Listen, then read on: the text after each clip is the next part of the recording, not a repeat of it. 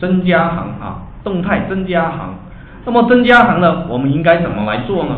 我们首先来看一下这个 grid 里面它还有哪些东西可以跟我们来增加行的。我们找增加行是吧？就是我们动态增加，那么它肯定是一个方法让我们调用。那我们就找这个 data grid 里面的方法啊，我们往下拉。好，如果说觉得学习这个 EDUI 难的啊，同学就应该好好看啊。刚刚我也加了这个属性啊，怎么去使用？那现在呢，我们又来找方法怎么使用了啊？好，我们往下找方法，应该是在它的下面啊。好，终于找到它的方法地方了。好，我们找，继续找。啊，上面我们再看一下有没有漏掉啊？没有，增加行的啊。好，这些 get 肯定的这些应该不是啊。要么就 insert，要么就 append，是吧？好，我们往下找，再往下找啊，append row 找到了是吧？同时下面我们看到还有一个 insert row 啊，插入一行。那么插入一行呢，它这里又指定一个条件啊，这个参数里面有一个是它的行的缩影，要去指定啊。那这一对于这一点呢，对于我们动态维护来说，如果你是去插入这个行的话，你需要记住你插入了应该是哪一个，是吧？那如果说我们使用这个 append row 的话，这两者会有啥区别啊？首先，它不需要指定你是在哪个行里面去插入，是吧？不需要这个 index，只需要你这个数据 row 啊。我们来看一下这个参数是一个对象，是吧？是一个对象，那么它就是一个它的数据是吧？而且这个对象是我们的 JSON 对象对吧？好，然后它是调用它的 append row 的方法是吧？大方法调小方法，然后它的意思是干嘛呢？是吧？追加一个新行，那这个追加怎么理解？是吧？追加应该就是在最后面追加是吧？好，所以他说新行将会被添加到最后的位置啊。那么这个时候我问你。如果说你知道我这个表格里面有多少行啊，如果你知道我这个表格里面有多少行，那我问你，我新追加的这一行的行号是多少？加一是吧？啊，好，这是行号啊。那我们如果放到索引里面去呢？啊，索引它是从零开始的，那我们就有相应的应该啊，就是它了是吧？好，那现在呢，我们就使用这个 append row 来方法来追加一行啊。那这个地方加到哪里去呢？是我们在点新增的时候给它加是吧？那因此我们这个地方就写上啊，增加一行啊。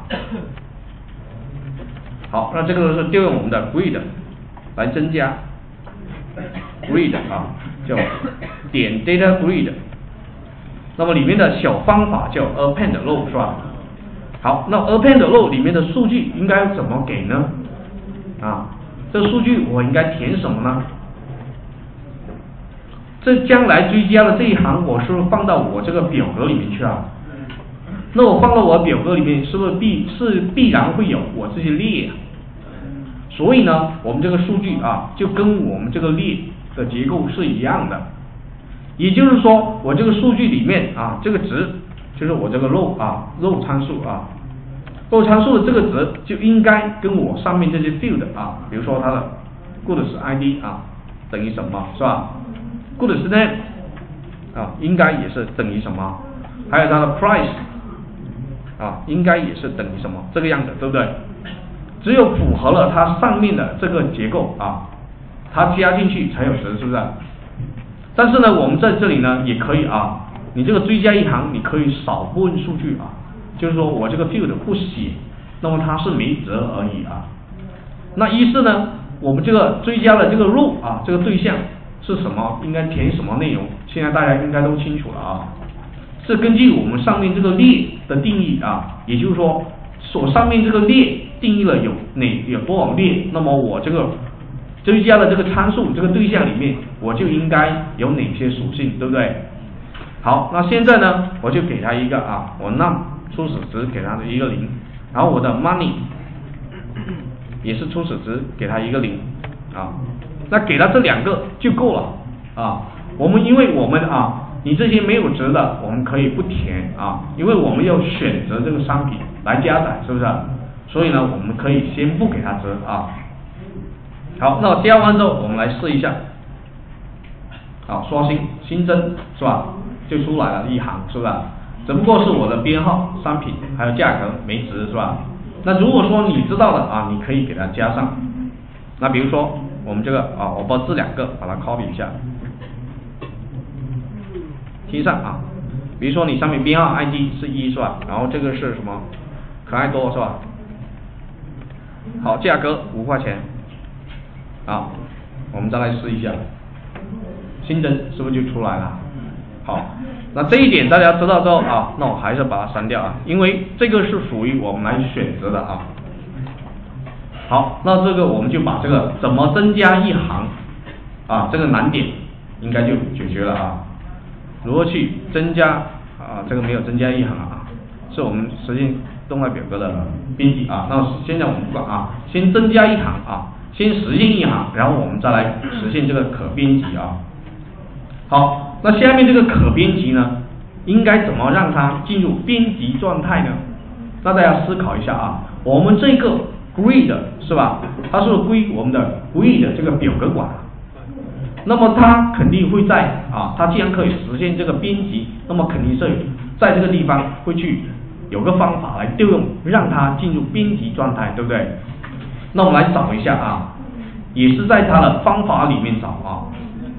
我们来啊，有的同学应该已经看了啊，那这一点值得表扬啊，值得表扬，因为他学的比较浅啊，也懂得看这个 API。实际上这个。就是你这样子，你就是一个一大进步啊！这不是老师夸的啊，夸你是没用的啊，你自己学会了才有用啊。好，那我们看一下，这里有两个参数啊，两个方法，一个叫做 end edit，上面叫做 begin edit 是吧？然后传的都是一个参数，这个参数呢叫做 index，这个 index 应该是啥？行的缩影是吧？那这个行的缩影应该是从从什么时候开始？从零开始。好，那好，那我们来看一下啊，它这个调用 begin edit 的时候，我们就可以让它进入个编辑状态，对不对？好，那我们现在啊，可以使用这个 begin edit 啊来调用它的 begin edit。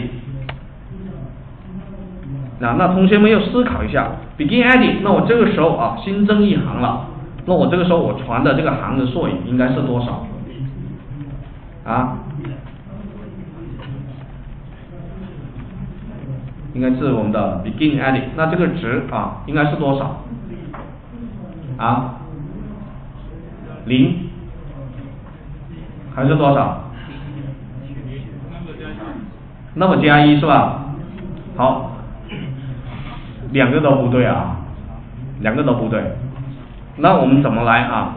首先。我们增加一行，是不是让我们不利的多了一行？那假如说我再点多一次呢？就该加一，是不是？那我这个值应该从哪里来获取？啊？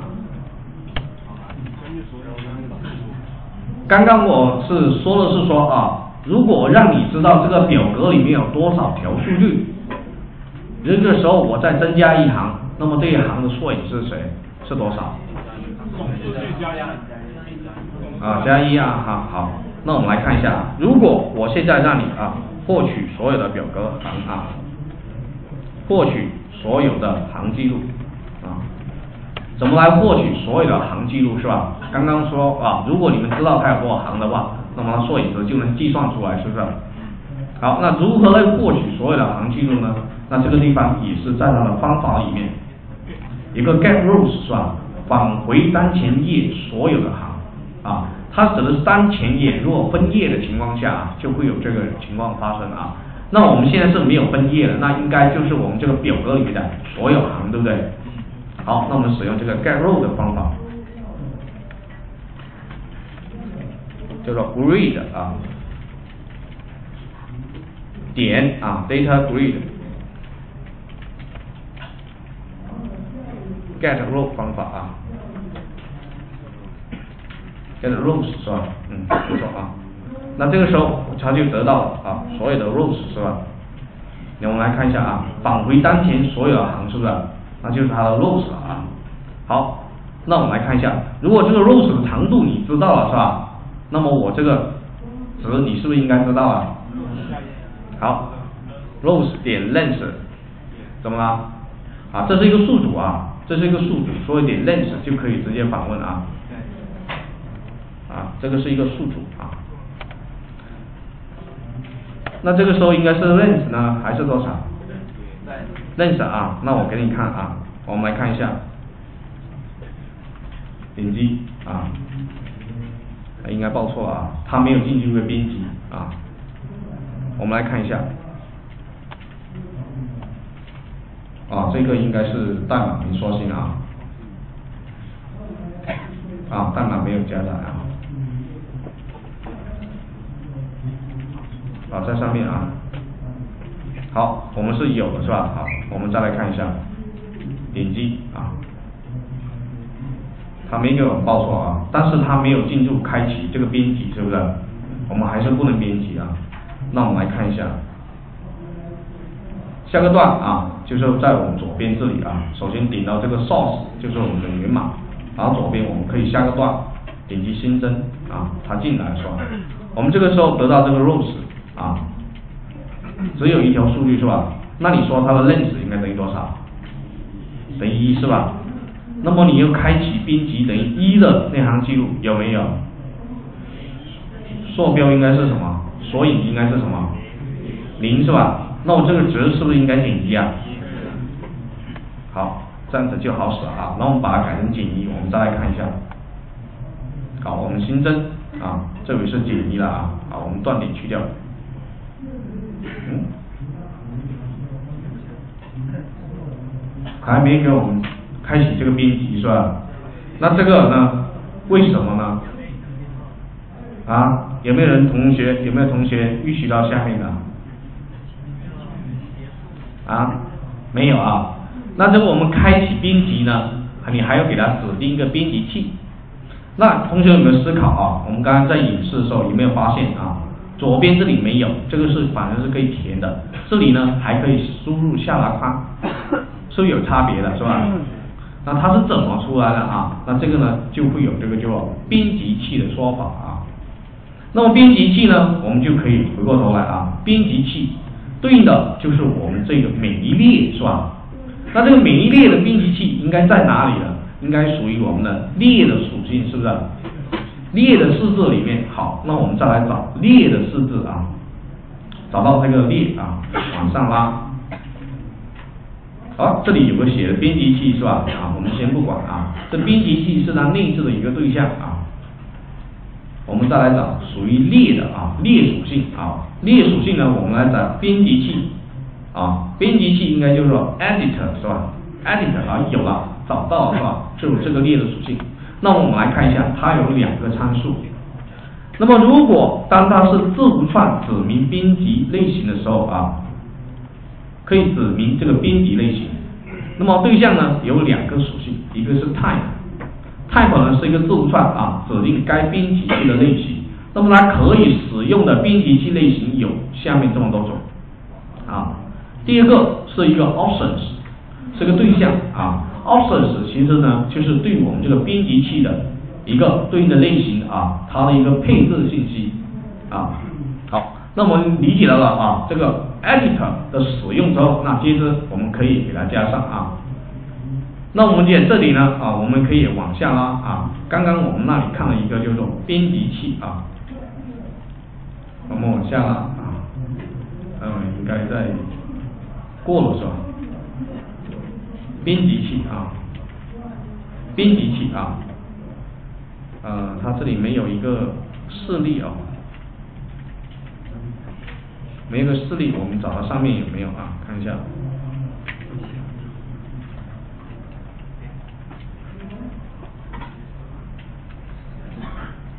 上面也是没有设立啊，但是我给你给你演示一下啊，如果说啊，我这个数量是吧，这个价格。我给它加上一个编辑器啊，叫做 editor 啊。如果我给它第一个，给它一个叫做 number box，这 number box 是不是属于我这个编辑器里面类型的其中一种？对吧？定义编辑器啊，这是定义编辑器，那列的属性这里面啊，number box 是吧？一个数值，好，那我这里同样的啊，我把这个数量跟这个金额我都给它加上啊，然后我们再来看一下这个效果怎么样。好，这里我们开启编辑了啊。好，我们再来应该是这个属性啊。